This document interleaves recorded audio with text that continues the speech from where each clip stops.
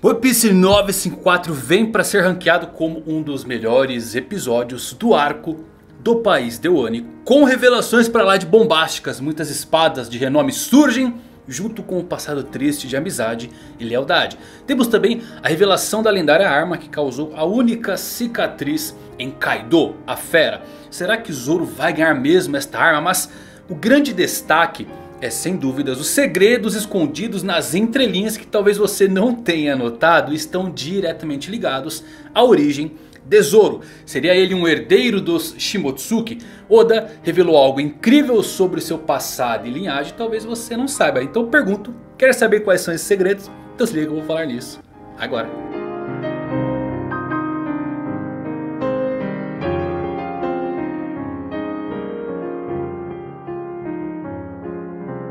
Fala galera, Evandro Fusari com mais um vídeo pra vocês, como vocês estão meus amigos? Espero que todos vocês estejam maravilhosamente bem, que episódio fantástico. Eu tinha me esquecido do quanto foi bom essa história de Onimaru, a raposa E também dos segredos escondidos nas entrelinhas. E hoje um pouco mais avançado na história pelo mangá Consigo ligar tudo em um único vídeo para você se surpreender com a origem do Zoro. Exatamente, então assiste até o final porque tem muita informação legal. Claro que se você é novo no canal, aproveita para se inscrever inscritão Manga Lático. Dispara o like para dar uma fortalecida. E agora com vocês, todos os segredos da família Shimotsu.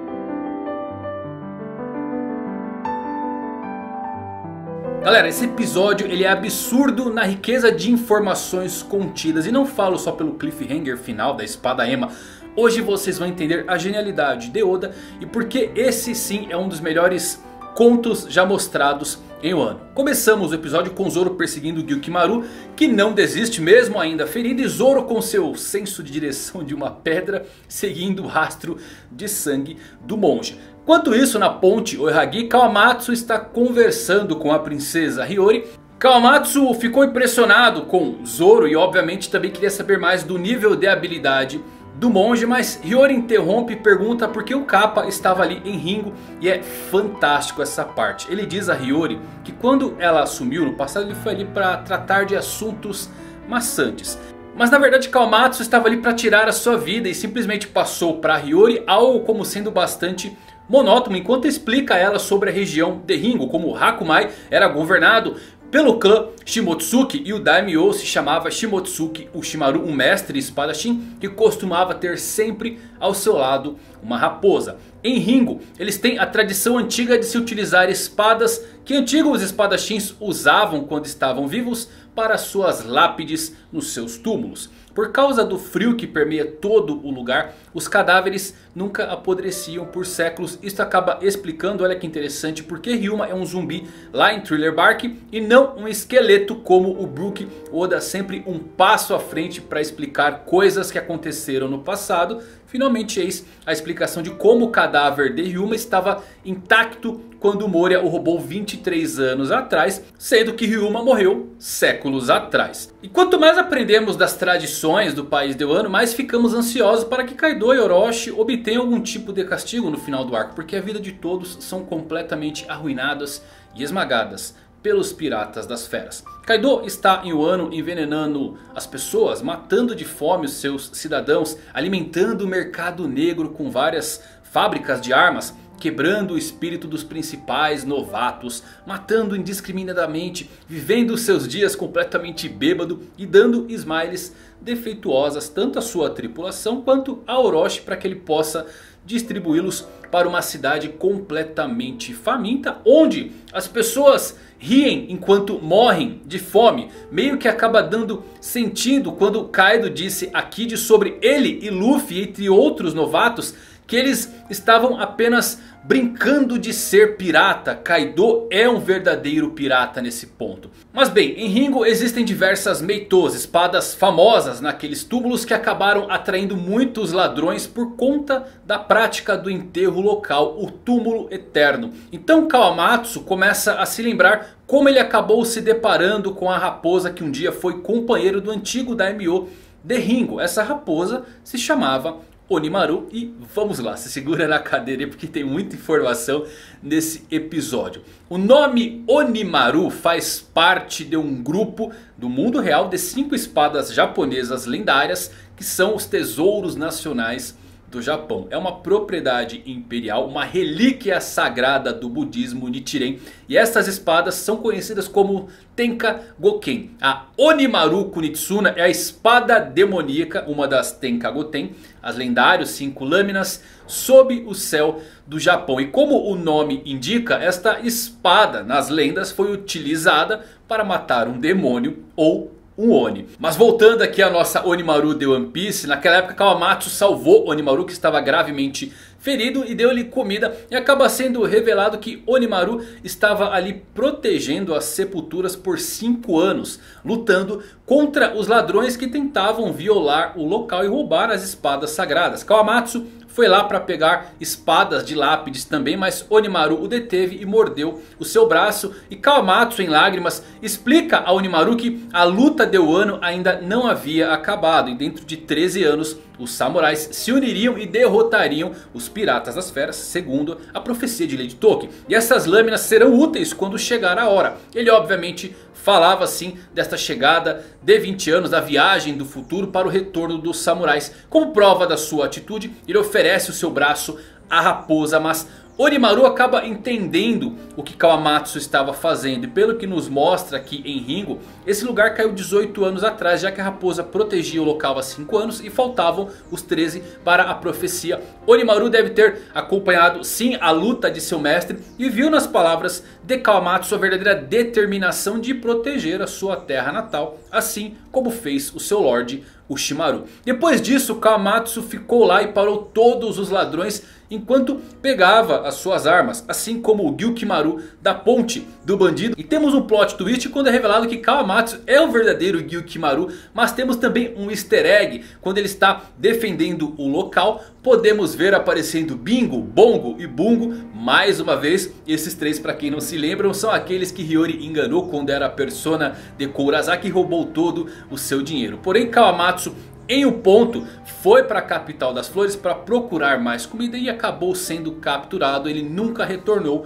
por 13 anos que foi o tempo que ele permaneceu preso lá em Udon. Kawamatsu retornou agora para pegar essas lâminas que estavam escondidas e foi quando ele se encontrou com Zoro. Bom, Gyukimaru desapareceu atrás de uma porta enquanto Zoro o perseguia. Kawamatsu diz que esta é a entrada onde ele escondeu todas as lâminas que havia pego. E quando eles adentram o local eles veem que alguém tem vivido ali. Há muitas espadas que foram recolhidas e era certamente o trabalho de um humano Gyukimaru que estava escondido no escuro e se transforma silenciosamente e sai do local. Gyukimaru era a raposa Onimaru e assumiu o posto de guardião da ponte por todos esses 13 anos e continuou juntando armas. Antes desse episódio, tenho certeza que ninguém se importava muito com Gyukimaru, mas todo mundo agora ao ver a raposa surgindo certamente voltou ao passado para se lembrar de Chuchu, o cãozinho lá de Orange Town que protegia o pet shop de seu dono mesmo sabendo que ele já estava morto.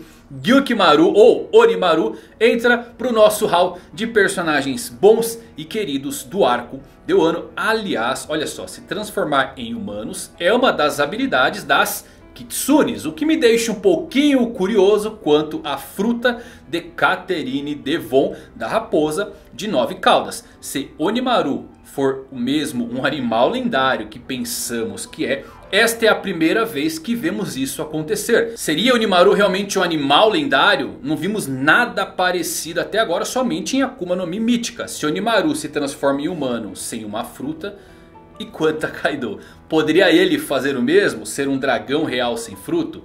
Teorizem aí. Bom, pra fechar temos o maior cliffhanger desse episódio. Hiyori falando com Zoro de uma maneira muito séria. Quando ele diz que foi ali pra pegar Shusui. Ela pergunta se realmente é Shusui. Se for aquela lâmina, devolva para o país de Wano. E Zoro bate o pé dizendo que a espada é dele. Mas Hiyori diz que em troca vai lhe dar a espada Ema que foi utilizada pelo seu pai quando ele ainda estava vivo. E a lendária Meito, a única espada espada conhecida que deixou uma cicatriz em Kaido. Tipo o Oden mostrando que era poderoso o suficiente para causar aquele estrago na fera Kaido. Curiosamente há um santuário Eima em Wano. Também vimos alguns episódios atrás onde Hiyori se escondeu dos ninjas. Pode ser coincidência ou não, mas Eima é uma divindade. Um dos 10 deuses que julgam os mortos no mundo dos espíritos. É legal ver Hiyori agindo como uma verdadeira líder. Desistindo da espada de seu pai em troca da lâmina Shusui. Quantas crianças no país de Wano não cresceram e ouviram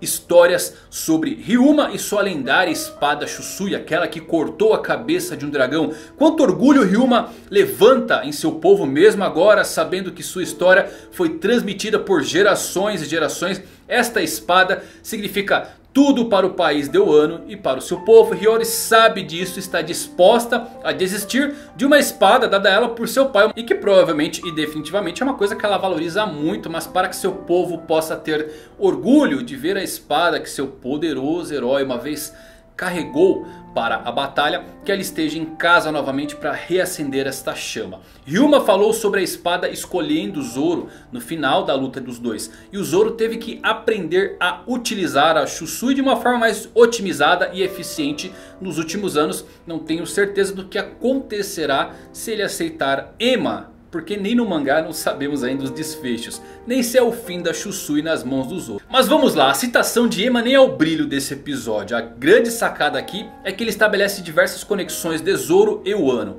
Um dos últimos SBS, que para quem não sabe são perguntas feitas de fãs ao Oda e ele responde sempre quando saem novos volumes de One Piece. E um fã perguntou sobre vários personagens aparecerem com o nome Shimotsuki e a vila do Zoro ter o mesmo nome. E o fã só queria saber se o Zoro aprendeu a palavra Tsunade com Shimotsuki Kozaburu, o fundador daquela vila. Curiosamente, o Oda fez uma pequena timeline explicando que Shimotsuki Kozaburu saiu do ano 55 anos atrás. É o pai do mestre de Zoro e o avô de Kuina. Mas o brilho dessa resposta é o Oda dando uma resposta retórica na sequência que diz o seguinte. Em outras palavras, quem Zoro quis dizer com um velhote em sua aldeia que ele conheceu foi na verdade o próprio vovô Shimotsuki Kozaburu-san que veio do país de Wano. E o Oda finalizou, bem isto poderia significar a linhagem de Zoro? Por hoje isso é tudo que estou disposto a compartilhar. Então Oda falou isso sem ninguém ter perguntado nada. Vamos lá, a silhueta de Shimotsuki Ushimaru é muito parecida com a de Ryuma e obviamente muito parecida com a do Zoro. Aliás, o Shimaru até mesmo parecia ter uma cicatriz no seu olho esquerdo. Temos então o deus da espada que tinha a sua alcunha de Shimotsuki. Depois a linhagem Shimotsuki governando Ringo. Cada senhor, um mestre espadachim tendo uma raposa ao seu lado. Agora temos do nada um certo pirata que quando garoto chega a uma aldeia chamada Shimotsuki. Ele é um espadachim de primeira linha, foi considerado digno pelo próprio Ryuma para herdar a sua espada. Zoro em suas primeiras aparições, além do seu nome, utilizava aquela bandana clássica que fazia literalmente ele parecer o herói Zorro. Uma inspiração para a criação de Zoro. E Zorro em espanhol significa raposa. E não só isso, Shimotsuki significa mês da geada, que é o nome tradicional do mês de novembro no Japão. Curiosamente é o aniversário do Zoro. Se fizermos um jogo de palavras rápido com os nomes, temos o Shimaru, o Shi significa boi, Onimaru, Oni, demônio, Gyukimaru, Gyuki, demônio do boi. Sim, Oda usou uma mistura dos nomes antigos dos mestres Shimotsuki para formar o nome Gyukimaru. Zoro tem um golpe chamado Santoryu Gyuki, golpe esse que ele utiliza contra Tibone. O Shimaru morreu há 18 anos atrás e Zoro nasceu um ano antes da morte de Oden 21 anos atrás. Alguma coisa se conecta e todas estas informações não são por acaso. Se eu tiver que apostar na linhagem de Zoro, então meus amigos, que todos saúdem o verdadeiro herdeiro do Deus da Espada.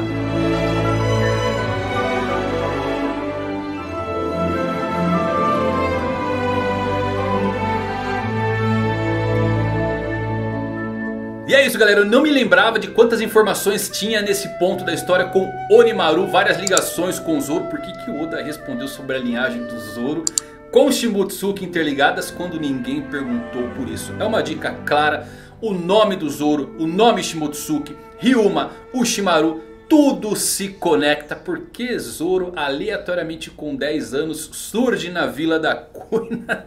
Não sabemos de onde ele veio. Será que o Shimaru mandou o Zoro clandestinamente para fora de Wano um ano antes da morte de Kozuki Oden? O que, que, vocês acham? Espero que tenha bagunçado a mente de vocês. Se bagunçou, então missão cumprida. Galera, muito obrigado por ter assistido. Se você gostou desse vídeo, deixa o like para eu saber. Até os próximos.